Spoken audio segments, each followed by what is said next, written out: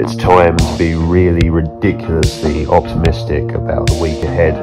The only question really you should be asking yourself is how am I going to fit so much fun into one week? The future is something you cannot work for.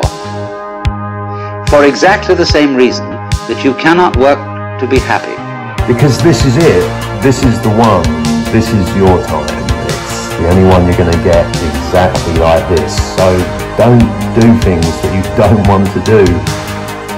Most people are working at tasks which they hate so that they can make enough money to stop doing it and play. Well, this is perfectly ridiculous.